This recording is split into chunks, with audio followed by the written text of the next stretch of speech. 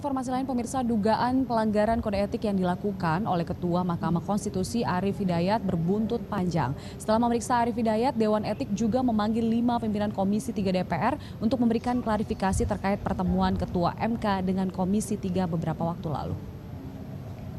Selain memeriksa Arief Hidayat, Dewan Etik MK telah menyurati lima pimpinan Komisi 3 DPR untuk memberikan klarifikasi terkait pertemuan itu.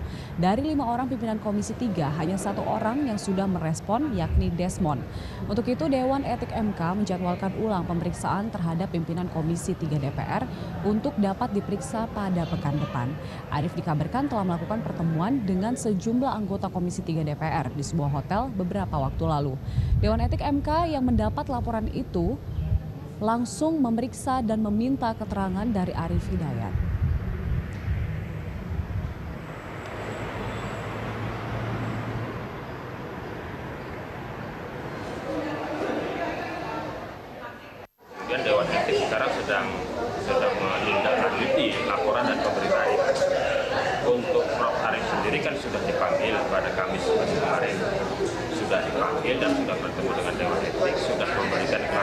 Jadi lima pimpinan Komisi 3 itu sudah disurati, sudah dikirim surat untuk hadir ke hadapan Dewan Etik untuk diminta